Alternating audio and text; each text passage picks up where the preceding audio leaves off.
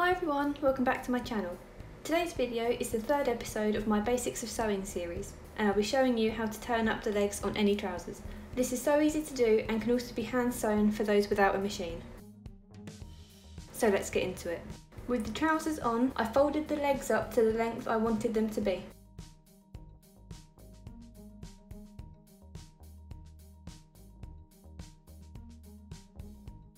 I recommend that you try this length with your shoes on too, just to make sure you're happy with where they sit.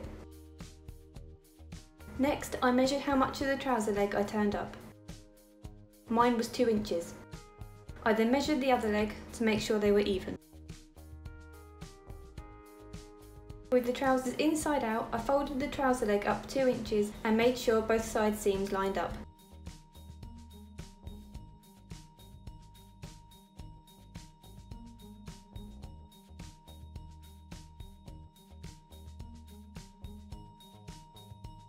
I then pin this in place.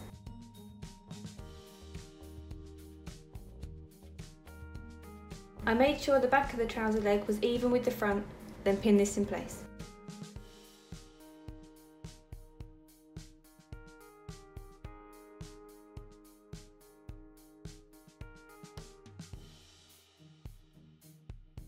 I repeated this on the other trouser leg.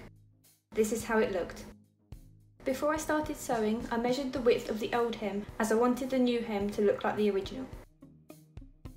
The old hem was half an inch wide, so I needed to sew half an inch up from the bottom of the trouser leg. Once I was happy with this measurement, I sewed where I'd pinned.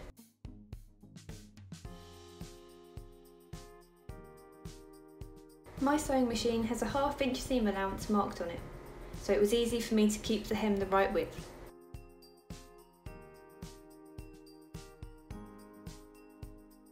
This is how it looked on the inside. And this is how it looked from the outside. This was so quick and easy, it took me less than 10 minutes from start to finish. This method can be used on any pair of trousers, whatever the material. Thank you for watching, and I'll see you in the next video.